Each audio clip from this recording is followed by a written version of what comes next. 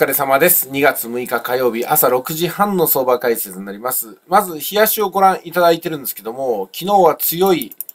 この陽線で終わりましたね。で、その中でもレンジで一発二発と取るチャンスがあったわけですけども、今日はどうでしょうかね。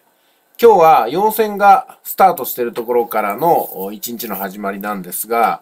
あ一つはね、ここを見ると、抵抗体をちょっと抜けた感がありますね。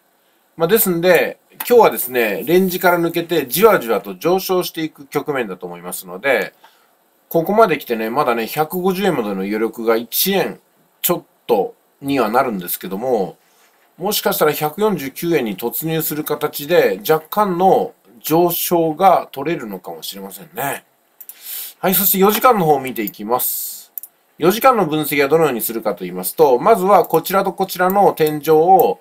抜けたところが出ていますが、上髭が出ていますので、若干躊躇しながら迷いながら、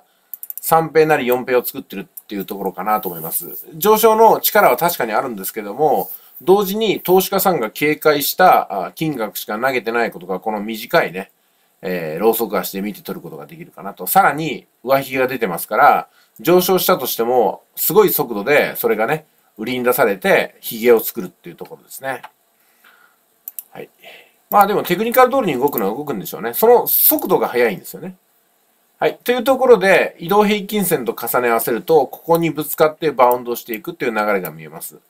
FX オリガルヒの方は、この、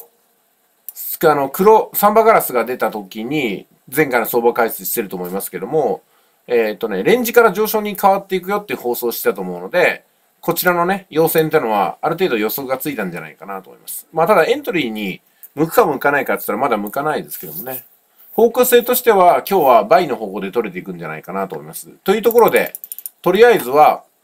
こちらが天井になってますので、ここに補助線を引くと、148円の845。もしこれを抜けるようなことがあったら、もう完全に倍でね、149円台まで狙っていただきたいと思いますけども、抜けないにしても上昇があるとすればね、この148円の845までは伸びていくのは十分あり得るという形で考えておきましょ